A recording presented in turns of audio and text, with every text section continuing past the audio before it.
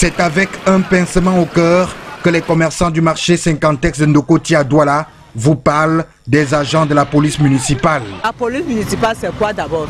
On le connaît dans ce gouvernement-ci là. Et ce sont les bandits, ils nous arnaquent, les voitures, ils arrêtent. Leur rôle, c'est quoi? Hein? On ne comprend pas. Comment là où va le pays là, la police municipale, c'est quoi?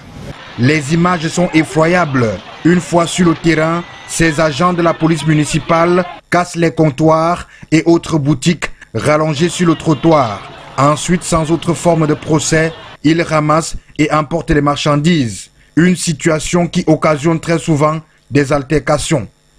Les conducteurs des mototaxis ne sont pas en reste. Ce sont les gens qui sont que ils sont pas compréhensifs vis-à-vis des, mototaximans. Et quand ils nous interpellent, qu'ils nous interpellent, ils nous interpellent parfois au milieu de la chaussée. Ils arrêtent l'embrayage de la moto, ils, ils brutalisent, parfois ils, ils font même parfois tomber les clients. Et cela n'est pas bien. Pourtant, c'est un corps reconnu et réglementé par des textes de loi et surtout avec des missions bien précises. Par exemple, euh, aider à réguler la circulation, euh, faire ce que la circulation soit un peu plus fluide, euh, lutter contre le désordre urbain, les occupations anarchiques des, des, chaussées, des trottoirs par euh, des commerçants inciviques, aider à appuyer les actions du maire dans le domaine technique par rapport aux décisions qui ne sont pas respectées. C'est la raison pour laquelle ce corps est généralement dans les communes placé sous l'autorité directe du maire.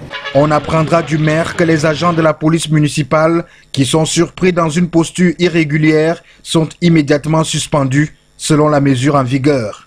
Dans tout corps, il y a probablement des brebis galeuses. Il y a quelques agents qui parfois sont coupables euh, d'exactions, qui sont condamnables, et nous le condamnons d'ailleurs. Mais j'en appelle également à la vigilance des, des populations parce qu'un automobiliste qui accepte de remettre son dossier complet un membre de la police municipale fait quand même preuve de naïveté. L'exécutif communal appelle les usagers de la route à plus de vigilance.